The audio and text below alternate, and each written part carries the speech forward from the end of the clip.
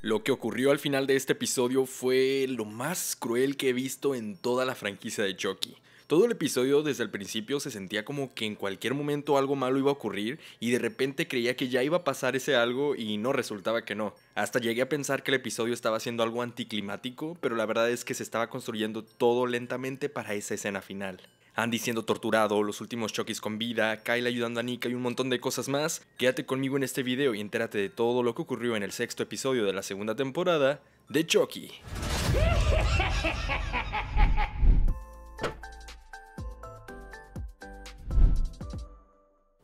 Ok, pues este episodio comienza con un flashback a lo que ocurrió en el primer episodio de la temporada, cuando Andy intentó destruir todos los muñecos Good Guy restantes al aventarse junto al camión por un precipicio. Algo que pudo resultar bien, pero pues terminó no siendo muy efectivo, porque pues al impacto sobreviven varios Chuckys que arrastran a Andy para que no muera en la explosión y pueda ser torturado por el Chucky coronel, o sea, el Chucky pelón que se autoproclamó el rey y que quiere controlar a todos. Así que en la actualidad, Letzi y Devon descubren al hombre mal herido en la cabaña y observan la horrible escena del coronel cortando y comiendo partes de la pierna de Andy. Y también se enteran que la terapeuta Mixter está involucrada en todo el asunto, ya que ella fue la terapeuta de Charles Lee Ray en la casa hogar cuando era un niño. Ella le informó al coronel que Tiffany Valentine permitió que Chucky Prime escapara. Chucky Prime es la parte original del alma de Chucky que actualmente está dentro del cuerpo de Nika Pierce y pues lo acusa de ser imprudente y también le advierte que cada muñeco Good Guy muerto lo acerca un paso más a su extinción. Por eso mismo la viejita le ruega al coronel que le permita terminar el trabajo en su nombre, pero él se niega y exige que lo lleven al colegio católico para acabar él mismo con los chicos. Ambos se marchan, lo que permite que Demon y Letzi puedan entrar y liberan a Andy, quien algo aturdido y traumado les pide que lo lleven al colegio del señor encarnado. Ellos aceptan y Andy queda bajo el cuidado de literalmente la única persona de buen corazón en ese lugar, la hermana Catherine.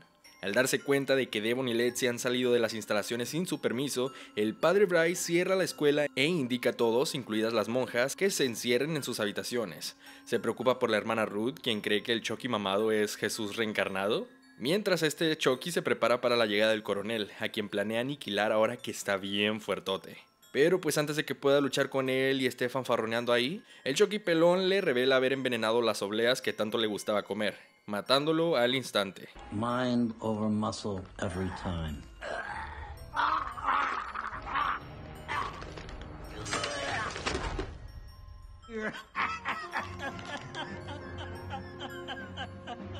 Por otro lado, después de haber huido con Glenda y Nika, Kyle escucha las noticias como Tiffany en el cuerpo de Jennifer Tilly están siendo buscadas por la policía junto a sus hijas, para ser llevados a interrogación por los cadáveres encontrados en la mansión de la actriz. Kyle le pide a Nika hablar con Chucky Prime y promete ayudarlos a él y a Glenda a escapar a Nueva Jersey a cambio de información sobre el paradero de Andy. Cuando le muestra sangre para que pues Nika pueda sacar su lado Chucky, este pretende ante Kyle haber matado a Andy y le indica a Glenda que le dispare a Kyle y la mate de una buena vez. Pero Glenda se niega y Nika recupera el control de su cuerpo cuando Kyle le pega un madrazo. Aunque sí, hay buenas noticias para Nika. Chucky Prime tiene un plan para escapar de su cuerpo y transferir su alma a un muñeco. Jake, Devon, Let's y Nadine y el Chucky bueno deciden unirse para pelear en un plan donde sea el coronel quien vaya hacia ellos para mantener todo bajo control. Letzi anda con la ansiedad a tope y sospechosamente el Chucky bueno se acerca a ella para ofrecerle unas pastillas. Raro, ¿verdad? Pues bueno, todos se ponen en posición de batalla, pero en ese momento la puerta se abre y el Chucky calvo hace acto de presencia. Solo que desde que llega parece estar delirando, aturdido, dice cosas sin sentido y lo que pudo ser una batalla épica se cancela pues el muñeco ha sido apuñalado en la cabeza con unas tijeras por Andy. Así que se muere en el suelo recordando la guerra de Vietnam y pronuncia el horror, el horror, tal como los momentos finales del Coronel Course de la película Apocalypse Now.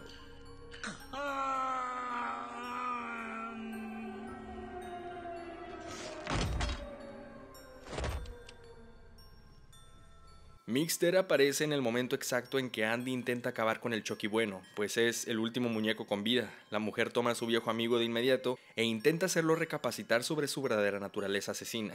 Aún no se ha revelado cómo y por qué la mujer se dejó llevar por la forma de pensar de Charles Lee Ray, aunque sí parece que fue ella como su terapeuta quien eliminó cualquier moralidad que le quedara al joven Charles en su juventud.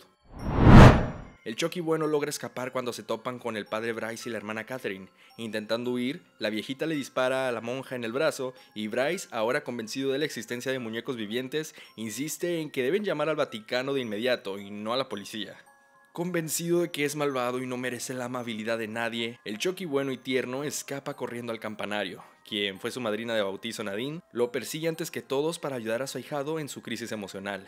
Se acerca a él, quien contempla el cielo por un ventanal, y este parece ceder a la ayuda del adolescente. Pero cabrón, de repente el muñeco la termina empujando, haciéndola caer por la torre y asesinándola.